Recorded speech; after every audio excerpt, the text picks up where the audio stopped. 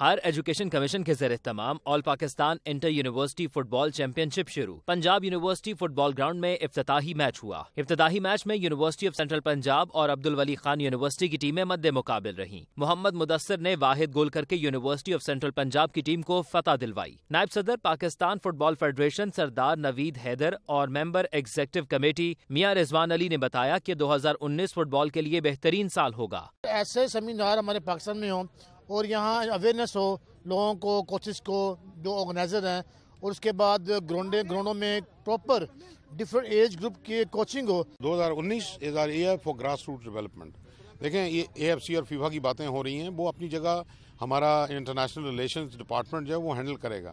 لیکن ہم انشاءاللہ under twelve under fourteen under sixteen and under nineteen in age group میں both for boys and girls we will have grass root selection of the team district level university of central Punjab کے کھلاڑیوں نے tournament کے انعقاد کو شاندار کاوش قرار دیا۔ ہماری ٹیم ماشاءاللہ بہت اچھی ہے یو سی بی کا نام ہے۔ پوری ایچ ای سی میں مطلب یہ تین چار دفعہ چیمپئن بھی رہی ہے گولڈ بھی رہی ہے۔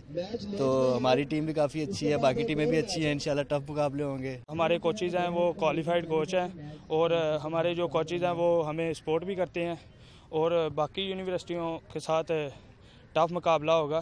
ملک بھر سے سترہ جامعات کی ٹیمیں چیمپئن شپ میں شریک ہیں فائنل مقابلہ دس جنوری کو ہوگا۔ کیمرامین سلیم جانی کے ساتھ بلال عقیل لاہور نیوز